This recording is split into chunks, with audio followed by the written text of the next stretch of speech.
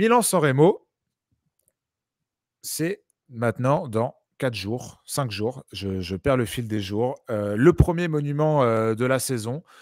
Le premier, peut-être, très grand moment de, cette saison, même si on a vu quand même des choses assez, assez exceptionnelles. je vais vous faire le point. Je vais me reprendre un peu mon petit, mon petit keynote là pour vous donner un peu des, des billes. Je vous mets déjà le parcours. Alors, je vous le mets, je vous mets comme si c'était comme si c'était. Euh, pourquoi les... Ah oui, les parcours. Bah, attends, tu sais quoi? Pour l'instant, les autres ne le voient pas. Toi, tu le vois. J'enlève le S. Hop. Ah, c'est beau. Merde. Ah, ça me... ça, ça m'embête. Voilà, le parcours. Excusez-moi, les gars. Vu que Joseph n'est pas là, il me laisse tout faire ce soir, le coquin. Vous voyez le parcours? Euh, donc, le parcours, euh, bah, rien de. Rien de bien original, hein, j'ai envie de vous dire. Milan Sanremo, quoi avec les capis, euh, les différents capis où il se passe euh, pas grand chose, la Cipressa où il se passe pas grand chose, et le Poggio où il se passe plein de choses. et le euh, Turquino, il y a le Turquino avant. et, le, et, le, et le Turquino, comme, comme tu le dis, Robin, j'avais pas fait attention. Non, plus sérieusement, moi, il y a une question que, que, je me pose quand je vois ce, ce parcours quand je vois les coureurs qui vont y participer, les coureurs dont, je vais vous mettre la liste maintenant, c'était dans ce sens-là? Ouais, c'est dans ce sens-là. Vous voyez euh, les, favoris euh, qui s'affichent. Euh, est-ce que, Robin, déjà, avant d'aller plus dans, toi, ta manière de voir la course et, tes différents favoris, alors qu'on salue Val du Havre 1 qui, qui vient d'arriver dans le chat, hein, la famille, est-ce que toi, Robin, tu imagines une course différente des années précédentes avec des favoris qui, euh, et quand je dis des favoris, tu vois très bien à qui je pense, euh, qui essaiera d'anticiper et essaiera de faire tout péter, euh, notamment dans la Cipressa, voire avant. Bah forcément, Tadej Pogacar nous a mis cette idée en tête cette semaine. Eh toute la semaine de Tirreno, vu à quel point il était dominateur, on a finalement fait que lui parler de Milan-San Remo en lui demandant s'il allait gagner et comment il allait faire, surtout après sa démonstration sur l'Estrade Bianche. Donc finalement, il a fini par répondre avec un petit sourire, Partir de loin, comme j'ai fait sur l'Estrade Bianche, ça paraît compliqué euh, sur, euh, sur Milan-San Remo. Mais peut-être que dans la Cipressa, c'est possible. Il n'a pas du tout dit qu'il allait le faire, mais du coup, on s'est tous emballés et on s'est tous dit, mais Pogacar, c'est sûr, il va attaquer dans la Cipressa, il va nous faire une démonstration et il va faire 25 bandes tout seul. Moi, je pense pas que ça va se passer comme ça, parce que je pense que si Pogacar il part dans la Cipressa, ça va bien s'activer derrière. On sait à quel rythme ça monte à la fois la Cipressa et à quel point ça arrive vite dans le Poggio si Pogachar sort dans la Cipressa, les mecs qui ont confiance en eux, les mecs qui savent qu'ils peuvent lâcher tout le monde dans le Poggio, je ne suis pas sûr qu'ils aillent avec Pogachar dès la Cipressa. Et du coup, ça veut dire que tu as toutes les équipes qui roulent euh, derrière entre la Cipressa et le Poggio. Pour moi, euh, c'est suicidaire, surtout si tu pars seul. Et je n'imagine pas encore. Euh, je, Évidemment, c'est une possibilité que Pogachar le tente, surtout dans une équipe UAE où tu as Matteo Trentin qui peut un peu plus peut-être miser sur le sprint mais ça me paraît vraiment très très audacieux quoi. Sachant que je pense que Tadej Pogacar a les jambes pour gagner en partant dans le podio. Tu penses, parce que c'était ça ma prochaine question, excuse-moi, j'étais sur, sur PCS. Alors, m'engueulez pas, hein, les gars, dans, dans ma liste de, favoris. j'ai pris le classement PCS, des points PCS de cette année, des participants. Donc, c'est sur Pro Cycling Stats. Si vous n'êtes pas content, réglez ça avec eux. On a vu notamment que Caleb Ewan n'était, n'était pas là. Non, ma question, c'est ça. C'est notamment quand je pense à l'année dernière, je vois quand même au niveau punch un niveau assez, homogène dans le peloton avec des coureurs, je pense, qui sont plus ou moins du même niveau sur ce genre de, parcours, en tout cas sur, une difficulté type Poggio. Je pense à un Philippe, par exemple, je pense à un Wood van Aert. Je pense aussi à un Roglic, même si, bon, même si le Slovène a dit qu'il bosserait sur, pour Van Aert, j'attends quand même de voir quelles sont les forces en présence dans le Poggio. Ça, peut, toujours basculer. Arrives ça peut basculer. Van Aert est mal placé ou il n'est pas dans une bonne journée, bah, tu bascules. Hein. C'est ça. Et, et du coup, il y a Pogacar, il y a aussi des, d'autres profils. tu vois, bon, Mas n'est pas là, mais je pense à un Tom Pitcock aussi, un, un Caleb Ewan, qui sont aussi des coureurs qui, en forme, peuvent aussi accrocher, les, accrocher ce type de coureurs sur, sur 500, 400, 500 mètres. Est-ce que toi, tu penses qu'il peut y avoir des différences faites dans le Poggio pour éviter bah, notamment ce qu'on a pu voir quelques fois par le passé, même si de moins en moins, mais surtout l'année dernière avec un sprint à presque 10 coureurs. Quoi? L'année dernière, Steven arrive juste devant les mecs qui font le sprint. Après, oui, euh, mais je comptais pas Steven euh, parce que s'il n'avait pas surpris son monde, il serait arrivé à 10. Mais oui, dans l'idée, dans l'idée, l'année dernière, c'était une arrivée en solitaire. C'est vrai qu'il y avait un petit groupe. C'est comme toujours, en fait, sans Remo, tout est possible. Tu te dis forcément, on, a tous les scénarios ouverts et il y a des sprinteurs qui ont montré une bonne forme sur ce début de saison, notamment Caleb Ewan, qui a fait de, ce, de ce Milan-San Remo le grand objectif de sa saison. Il n'arrête pas d'en parler. Il a fait déjà deux fois deuxième en 2018 et 2021. L'année dernière, on se rappelle qu'il a basculé au sommet du Poggio en deuxième position, juste derrière Van Aert, après avoir fait une montée stratosphérique. On était tous hallucinés de le voir aussi facile dans la montée du Poggio. Il n'a jamais quitté les dix premières places dans la montée du Poggio alors que généralement les sprinteurs qui espèrent gagner Milan-San Remo, ils ont plus une stratégie de bah, je vais perdre des places dans le podio et puis je vais essayer de me refaire la cerise dans la descente et d'aligner tout le monde au sprint. Et non, il a monté le podio finalement comme si c'était un, puncher. Quoi. Euh, donc euh, évidemment qu'avoir un mec comme Ewan, euh, qui est très en forme, qui a gagné son étape sur Tirreno, qui a abandonné derrière. Alors, il a eu une petite chute, mais ça n'a pas l'air de l'avoir dérangé puisqu'il a gagné l'étape le même jour. Ça va obliger les non-sprinteurs, disons, euh, donc un Pogachar, un Alaphilippe, s'il est en forme, s'il est bien remis, parce qu'il n'a pas fait une semaine incroyable non plus sur Tirreno, ça va obliger ces mecs-là à bouger. Un Pitcock aussi, c'est pareil. Euh, à faire la sélection dans le podio. Et en fait, c'est ce qui a changé par rapport à il y a certaines années, à une petite dizaine d'années. C'est qu'il y a une dizaine d'années, le peloton était dominé par les sprinteurs, euh, alors qu'aujourd'hui, il est dominé par les punchers, je pense. Euh, et dans les punchers, on peut mettre Roglic, Pogacar, Van Aert, euh, qui sont des coureurs très complets, mais qui rentrent pour moi là-dedans.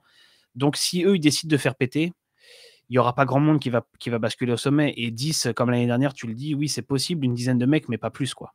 Je pense. C'est ça, parce que moi, la, question que je me pose, en fait, et c'est pour ça que euh, quand je vois la start list et quand je vois les coureurs et la forme de, certains, je me dis que un Pogacar avec sa forme, en fait, le problème, c'est pas le problème de Pogachar, c'est pas de se demander s'il sera juste dans le podio. Le problème de Pogachar, c'est de savoir qui il aura dans la roue s'il met une accélération et qu'il arrive, euh, qu'il arrive au sommet du podio. Et, c'est plus en ça que si j'étais euh, Pogachar, je serais, euh, serais pas rassuré. Et c'est plus ça qui me ferait, qui me ferait dire, en tout cas, si j'étais Pogachar, d'au moins tenter, tenter d'un peu plus loin parce que, parce que moi, je, pense, et comme tu l'as dit, maintenant, on a des, des punchers, des punchers très, très homogènes en termes de niveau, je l'ai dit tout à l'heure, des sprinters capables sur une course comme, comme un KB1 par exemple, ou même, même un Steven, hein, mine de rien, qui, qui, était dans la ferme de sa ville l'an passé, de réussir à passer ce genre d'effort avec les meilleurs. Comment tu fais pour faire la différence Et à ce jeu-là, bah déjà, comment tu fais? Tu, places une attaque qui, ne, qui, met tout le monde d'accord dans le podium. C'est comme ça que Ala Philippe et Van Aert se sont échappés en 2020. C'est comme ça qu'il y a un groupe de 7-8 qui s'était formé en 2019, l'année où, où, où Philippe gagne. C'est comme ça qu'on a le trio Ala Philippe, Sagan, Katkowski. C'est ça, ma, question, hein. ma, question, c'est ça. C'est est-ce qu'aujourd'hui, on est en capacité d'imaginer euh, on a vu des mecs très forts. Hein, euh, on a vu, euh, moi j'ai vu du Asgreen très fort sur l'Estrade. Ouais, mais, pour, des mecs, pour mecs un peu plus si forts. si Van Aert place un gros démarrage, t'imagines qu'il y a qui dans la roue, toi?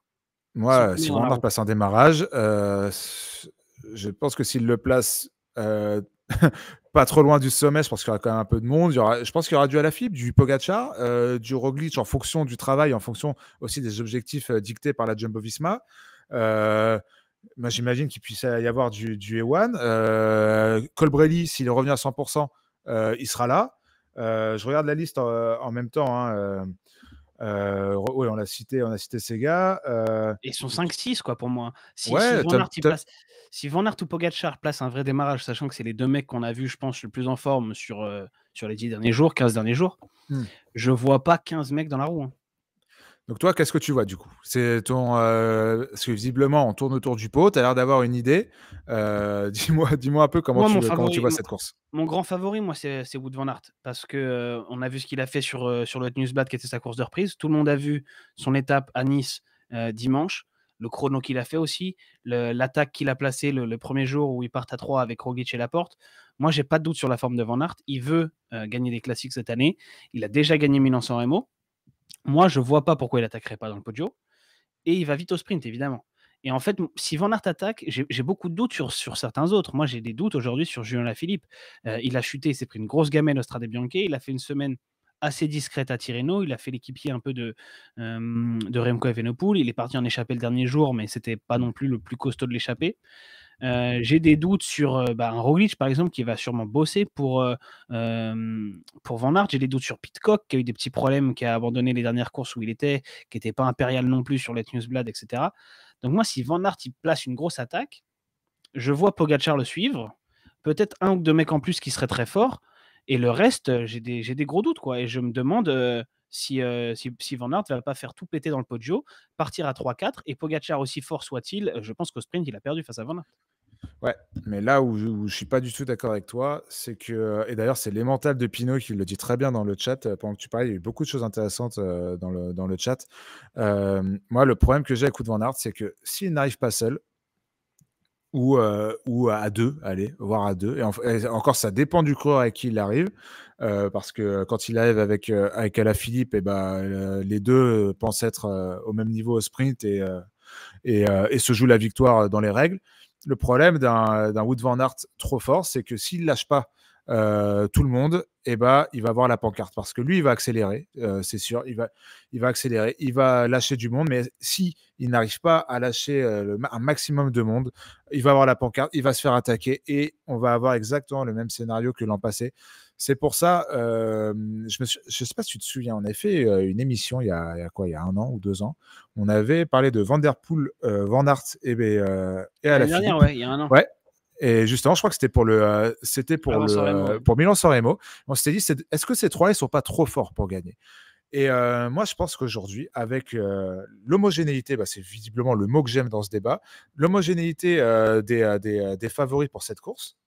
je, je crois, je pense pas qu'un Van Aert soit capable de, de lâcher, de lâcher tout le peloton, de partir seul ou à deux, ou à voire à trois.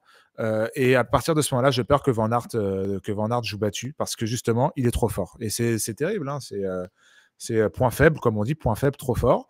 Et à ce petit jeu, eh ben, tu peux notamment miser sur Ça dépend des. Ça dépend quitter. On, remercie Val, du Havre, Cyril Guimard qui offre trois abonnements. fidèle au poste, Val, tu es un monstre. À, chaque fois, à chaque fois que tu es là, tu, tu, tu régales. Ça dépend à qui exactement. Mais, Pogacar, Polo, regarde un scénario comme ça. Tu pars avec Pogachar et, euh, euh, et disons, je sais pas, Colbrelli par exemple, un autre, un autre bon sprinter, mais euh, on n'est pas certain qu'il bat Van Aert au sprint. Colbrelli, il va rouler, c'est la chance de sa vie. Et Pogachar, qu'est-ce qu'il va faire? Il va laisser tout le monde revenir derrière? Non, il va tenter un truc. Il va tenter de partir, j'en sais rien, 1, 2, 3 km dans la descente où il veut, mais l'intérêt de, une fois que tu es devant comme ça, si tu n'es pas le meilleur sprinter et que tu te retrouves malheureusement avec Van Aert ou avec Colbrelli, tu vas pas non plus faire en sorte que tout le monde revienne derrière parce que derrière, il y a encore plus de sprinters. Vaut mieux essayer de battre Van Aert en un contre un et de le prendre tactiquement que d'avoir un groupe de 20 où là, tu es sûr de perdre. Mais bien sûr, mais c'est ce que je te dis, euh, Robin. Tu n'es pas obligé de t'énerver. Hein. non, ce que je te dis, c'est que dans la mesure où si Van Aert n'arrive pas à, à s'isoler, lui, avec un petit groupe de 1, voire 2 coureurs, j'ai peur que si c'est à plus, s'ils sont 4, Moi, je pense que 4, 5, 6, 7, euh, bah, oui, ok, dans ce cas-là, dans ce cas, je, peux, je, peux, arrêter mon. Je non, mais Pogacar, et Van Aert, je, ne vois pas qui peut tenir la, route de Van Aert et Pogacar aujourd'hui. Et donc peut-être qu'il y en aura un ou deux qui vont être dans le jour de leur vie, mais je vois pas plus que deux mecs tenir leur roue. Ah, je te dis, il suffit que, il suffit Philippe arrive à l'accrocher, il suffit qu'un autre mec, euh, je sais pas, un KB1 arrive à l'accrocher, qu'un autre truc, euh, qu'un autre coureur. Et ben là, ça se regarde. Et à ce jeu-là, j'ai peur que Wood Van Aert euh, se fasse avoir. Lui qui s'est déjà fait avoir par le passé plusieurs fois dans ce genre de situation. C'est déjà fait avoir, mais il a aussi euh, déjà gagné. Mais oui, il a aussi déjà gagné. Mais quand il a gagné, c'était quand il était un peu plus, un, peu plus esselé, ou alors qu'il était avec des coureurs qui voulaient, qui voulaient, le, qui voulaient euh, lui faire la, pause sprint. je pense à l'Amstel notamment l'an passé, où pour le coup ça avait été, ça avait plutôt bien collaboré. moi, du coup, ça nous demande les pronos, là. C'est l'heure des pronos, Polo. Jean Mur, il demande parce qu'il veut parier.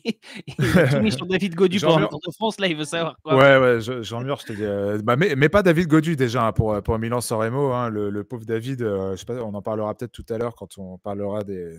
peut-être, je dis bien peut-être, de certains Français de la groupe AMFDJ. Euh, non, non, David Godu, laissons-le laissons se reposer. à Paris, tu as raison, as raison, Robin. Moi, moi, je vais sur. je pense que je vais sur un petit outsider. Et, et je reste quand même sur, sur Tom Pitcock, qui lui, tu vois, peut, peut s'accrocher sur ce genre d'effort face au, face au Cador. Après, à voir dans quelle forme il est. C'est ça, moi, c'est un peu ça qui m'inquiète. Tom Pitcock, et qui, lui, pourra profiter d'un marquage entre, entre les favoris. si il y a un marquage comme il y a pu avoir notamment l'an passé. moi, j'ai envie de tenter, de tenter Pitcock. voilà, toi, t'en penses quoi Déjà de, mon pic Pitcock? et après, dis-moi dis-moi ce que, ce que toi, tu choisirais. Je doute trop de Pitcock parce que sur les dernières semaines, on ne l'a pas assez vu. Il a été trop malade, blessé, abandonnant, etc. moi, je mets la doublette Pogacar-Van Aert, sachant que Van Aert est le, favori, donc avec ah, une cote assez tu te pas trop. Hein. Euh, Pogacar, je l'ai annoncé il y a une semaine dans l'émission YouTube, c'est là-bas, vous pouvez aller voir. Et il était coté à 20 à l'époque. Il a bien baissé. Il hein. fallait le prendre quand moi je l'avais dit. Il était euh, coté à 20, Pogacar? Ouais. bah, allez, voir sur Wina euh, et, voir la cote. Mais, tout à l'heure qu'il était à 6.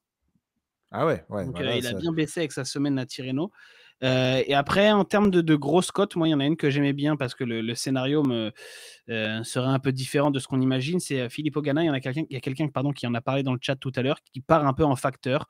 L'année dernière, il avait fait un début de montée incroyable dans le Poggio, Philippe Ogana, avec Van Barle dans sa roue. Euh, et puis finalement, euh, il, il s'était rangé parce que voilà, c'était pas son objectif. Mais rappelons que c'est un Italien. Milan Sanremo, ça, ça lui parle. Euh, et on l'a vu grimper pas mal en ce début de saison, plus que d'habitude. Donc est-ce qu'il n'est pas capable de mettre un rythme monstrueux où finalement personne n'est capable d'attaquer parce qu'il va trop vite?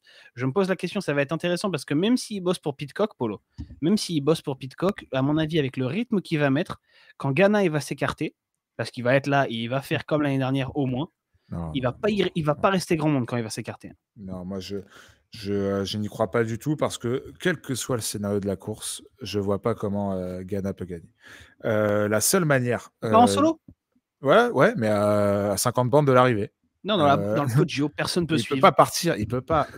Pipo Ghana, que j'adore, ne peut pas partir tout seul dans le Poggio. Et il faut qu'il soit tout seul pour gagner parce que les mecs qui vont le suivre dans le Poggio, si euh, il arrive à faire une petite sélection, c'est des mecs qui vont l'aligner au sprint. Donc, quelle que soit euh, la, physionomie de la course, euh, Ghana, il peut pas, il peut pas gagner. Voilà. Donc, je sais que c'est un bel espoir que tu nourris depuis une semaine. On a vu Ghana performer sur les routes italiennes encore cette semaine. Mais là, c'est quand même des routes différentes et je pense pas le voir parmi les meilleurs. Je pense qu'il va plutôt se mettre au au service d'un Tom Pitcock ou d'un Ethan en fonction euh, de la physionomie de course ou d'un Arves aussi euh, en fonction de la physionomie de course chez Ineos. Ce qui est marrant, c'est qu'il y a plein de noms dans le chat là qui passent. Je vois Coca, Craig Anderson. il faut qu'on parle, faut qu'on parle des Français. C'est tous des, mecs sur qui tu as envie de mettre un euro en fait. Ah bah parce que tu te dis c'est possible quand même. Soren Krag Andersen, on sait que le genre d'effort, grosse montée, Poggio, plus, plus arrivé sur la Via Roma, ça, ça lui fait pas peur. Enfin, en tout cas, c'est quelque chose qu'il peut faire, qu'il a déjà fait et qu'il a fait de, fort bonne manière. Il y, avait une interview de lui, une très bonne interview de Benoît Vitek d'ailleurs, je ne sais pas si tu l'as lu, Robin, euh, cette semaine sur son Andersen. pas eu le temps de la lire. Euh, qui disait que euh, lui, ce qu'il adore, quel que soit le, le, parcours, c'est l'effort de 30 à 60 minutes. Donc oui, c'est un, un, pur rouleur, capable de faire des, des belles choses. bon voilà, bref, au-delà de ça, l'interview est très intéressante. Mais pareil, c'est des gars sur qui, oui, tu peux mettre un ou deux euros, c'est hyper intéressant. Ah tiens, Ghana, j'ai un scénario pour toi. Ghana, il tient dans le Poggio et dans les trois derniers kilomètres, il, il fait comme Steven l'année dernière. Il part en facteur. Voilà, c'est ça le scénario pour Ghana. Ça, ça j'aime bien, tu vois, ça, ça j'aime bien. J'ai plus envie d'y croire, euh, tu vois. Qui tu me vois ça. dans le chat, il, il, dit il peut faire le kilomètre en mode Cancellara. Il parlait de Craig Anderson, moi ça m'a fait penser à Ghana. Euh, côté français, du coup, euh, Robin, euh, on, a, on a différents profils, différents coureurs, différentes formes. Euh, à la fille, bien sûr, Cosnefroy, que j'ai trouvé un peu décevant, ma Cosnefroy ces derniers temps. mais on a aussi des coureurs différents, type Brian Cocard, type Arnaud Desmar, que mine de rien, mine de rien, j'ai vraiment trouvé en forme cette semaine sur Tirreno Adriatico. Le sprint qu'il fait, où il, euh, lance à 300-400 mètres et se fait juste sauter sur la ligne par Caleb Ewan, est pour moi vraiment impressionnant. Euh, est-ce qu'un Arnaud démarre J'imagine que je m'emballe peut-être un peu, mais plus un Brian Cocard. Euh, peuvent être des surprises côté français, ou alors tu attends vraiment plus des profils type type Barguil, tu vois? Il y a beaucoup de gens dans le chat qui nous parlent de Barguil. Il y a Ole, là, qui, qui, le cite. Euh, voilà, qu'est-ce que tu en penses, toi? Ou c'est juste Démarche, j'y crois pas. Démarche, j'y crois pas. Euh, Boigny non plus. Alors, tu as raison, Démarche fait un très beau sprint à Tirreno, mais déjà, c'est le seul beau sprint qu'il a fait cette saison. Et euh, mais là, là il n'aura pas, pas de problème de placement s'il arrive dans un groupe de 10. Quoi. C'est vrai. mais en fait, je ne pense pas. Euh, la façon dont Démarre avait gagné il y a 5 ans, ou il y a 6 ans, je sais plus, c'est 2016, ouais, 6 ans. ça remonte. Hein. Euh, ouais, 2016. Et en fait, je pense que ça n'arrivera pas avec les coureurs qu'on a aujourd'hui. Et ça n'est pas arrivé depuis, euh, depuis Desmar, en fait, parce que et, avant Desmar, il y avait eu des Genkol, il y avait eu Christophe, je crois, il y avait eu, il y avait eu des victoires au sprint comme ça, et encore plus si on remonte des Cavendish, des Goss, etc. Mais vraiment, ça ne se fait plus. En fait, les sprinteurs, ça ne marche plus. Viviani s'est cassé les dents un nombre de fois incalculable.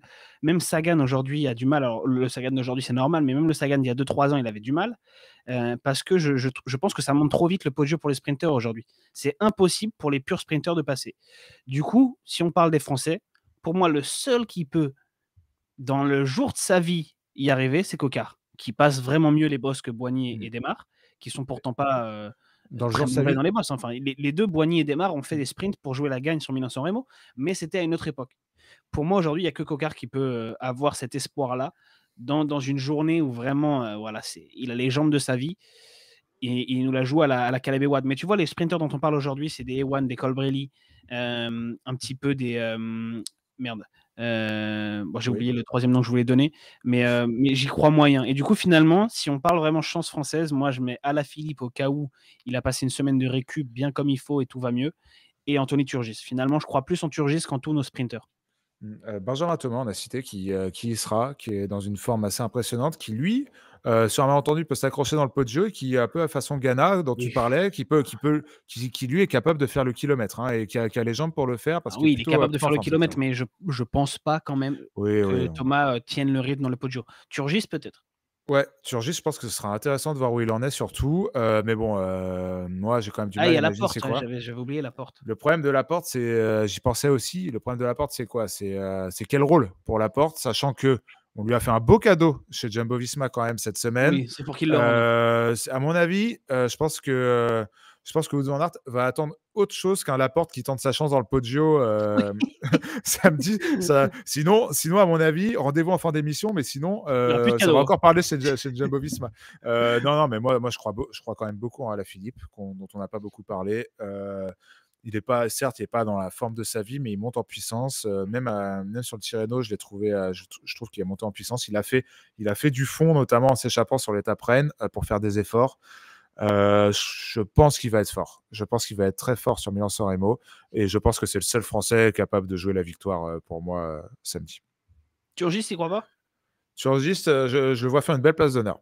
Mais au-delà de ça, Turgis, ça me rassurerait avant les, Flandriennes surtout parce que j'attends un gros, un gros Turgis sur les Flandriennes. J'aimerais un gros Turgis sur les Flandriennes. Il a l'équipe, il a le matos, et ça, on en parlera peut-être pas parce qu'on est sponsorisé par, ce, par cette marque, mais parce qu'il il y, a une vraie dynamique chez, chez Total Direct Energy qui a gagné avec, avec Van Gestel cette semaine, avec Burgodo aussi. Pas Van, non, pas Van Gestel, si? Qui a gagné, qui a gagné en Belgique, si je dis pas de bêtises. Les gars dans le chat vont nous le dire. Ah, sur le euh, Grand Prix Montserrat Non, pas le Grand Prix Montserrat. Euh, je sais plus, mais ils nous le diront dans le chat. Euh, non, c'est pas Van, Gestel. Si, c'est Dries Van Gestel, on nous confirme. Euh, qui a gagné cette ah, semaine. Pays-Bas, c'était sur le Tour de Drenthe. Oui, sur le Tour de Drenthe, voilà, merci. Euh, et, et, aussi la magnifique victoire de Mathieu, de Mathieu Burgodo. donc on verra. Mais ça, c'est un autre, c'est un autre débat. Est-ce qu'on a fait le tour, Robin, sur, sur ouais, Est-ce que tu veux rajouter quelque chose? Je voulais juste ajouter deux, deux petites statistiques. la dernière fois qu'un coureur a gagné son Raymond en partant dans la Cipressa, on en parlait en début de débat, euh, bah, j'étais pas né. C'était en 1996, en mars 96, euh, Colombo en italien. Donc euh, ça fait 25 ans pour voir à quel point ce serait un exploit monstrueux si quelqu'un réussissait à faire ça. Et surtout, depuis 25 ans, il y a un seul vainqueur de Milan-San Remo qui a finalement été un vainqueur de grand tour. C'était Vincenzo Nibali. aucun autre vainqueur de grand tour n'a gagné San Remo. Et même aucun autre vainqueur de grand tour n'a été faire un podium sur Milan-San Remo. Donc, pareil, si Pogacar venait à gagner ce Milan-San Remo, idem si c'était Primoz Roglic, ce serait vraiment quelque chose d'incroyable. Très bien. Eh ben, écoute, c'est des très belles stats. je suis jaloux de ne pas les avoir. Voilà. Mais c'est pour ça que tu es là, Robin. Merci beaucoup. Voilà, c'est tout pour ce Milan San Remo. Je vous le rappelle, on se retrouve samedi 14h sur la Winamax TV pour l'échapper. On sera Joseph, Robin et moi. Et là, on va rentrer dans le vif du sujet sur cette course. la course aura débuté depuis, je pense, 100, 150 bornes. Il y aura des bons coups à faire. Il y aura des gens qui auront sûrement abandonné. Il y aura des gens pas en forme. Ce sera le moment de, faire le tri et on vous donnera nos derniers petits tuyaux avant, de, avant que, que cette course s'emballe et que le pot jaune arrive. Voilà. Merci, à, merci à, tout le monde pour ce débat. Je fais, je fais un petit cut un peu sympa parce que les gens de YouTube, euh, bah, eux, ça va s'arrêter là. Mais si vous êtes sur YouTube, n'hésitez pas à suivre la chaîne euh, Twitch euh, 101. Comme ça, vous pouvez voir toutes les missions, que ce soit en live ou en différé, parce qu'on met nos différés en entier et gratuit, contrairement à d'autres euh, streamers. Euh, je parle pas du tout, euh, je parle de tous les streamers. Hein, tu vises les gens, pour tu vises les gens, on veut des noms. Non, non vraiment, mais ce que, ça se fait beaucoup sur Twitch. Les gens ne mettent pas les, replays en gratuit. Voilà, donc voilà, venez, venez en profiter et, et nous retrouver sur Twitch, partout, sur nos réseaux et sur nos différentes émissions d'ici la fin de la semaine. Voilà.